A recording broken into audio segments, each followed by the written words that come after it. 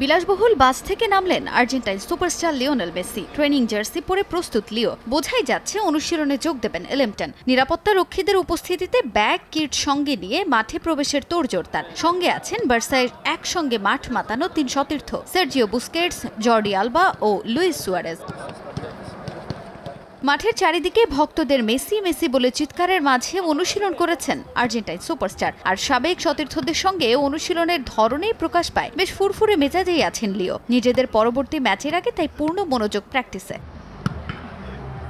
প্রাক মৌসুম প্রস্তুতি ম্যাচে ইতোমধ্যেই সৌদিতে পাড়ি জমিয়েছে ইন্টার মায়ামি, যেখানে রিয়াদ সিজন কাপে দুটি ম্যাচ খেলবে মেসির দল। প্রথম ম্যাচে বন্ধু নেইমারের আল হিলালের বিপক্ষে মাঠে নামবে মায়ামি। প্রথমবারের মতো এই দুই ক্লাব একে অপরের মুখোমুখি হতে যাচ্ছে। তবে চোটের কারণে পুরো মৌসুম দলের বাইরে থাকবেন এই ব্রাজিলিয়ান, আর এ ম্যাচে তাকে পাওয়ার কোনো সম্ভাবনাই নেই। তবে এ ম্যাচে হিলালের বিপক্ষে মাঠে নামবেন মেসি, বুস্কেটস, আলবা, সুয়ারেজরা। তবে মূল আকর্ষণ আল নাসরের বিপক্ষে ম্যাচটা। সেই ম্যাচে মেসি, সুয়ারেজদের অংশগ্রহণ নিশ্চিত করতে আল হিলালের বিপক্ষে পুরো ম্যাচে নাও খেলানো হতে পারে এই দুই তারকা ফুটবলারকে।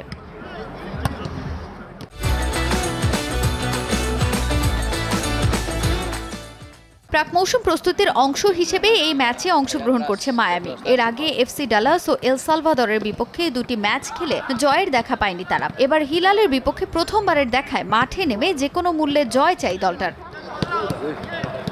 লিওনেল মেসি স্বপ্ন দেখতে শিখিয়েছে যুক্তরাষ্ট্রের মেজর লিগ সকারের ক্লাব ইন্টার মায়ামিকে। ইতিহাসে প্রথমবারের মতো লিওর হাত ধরে কোনো টুর্নামেন্টের ট্রফি জয়ের পর থেকেই স্বপ্নের পরিধিটা বেড়েছে আরও। এবার যুক্তরাষ্ট্রের ক্লাব ফুটবলের সব ট্রফি জয়ের লক্ষ্য নিয়ে মাঠে নেমেছে দলটা। সেই লক্ষ্য পূরণেই রিয়াদ সিজন কাপের ম্যাচগুলোকেই প্রস্তুতির বড় অংশ হিসেবে বেছে নিয়েছে ইন্টার মায়ামি।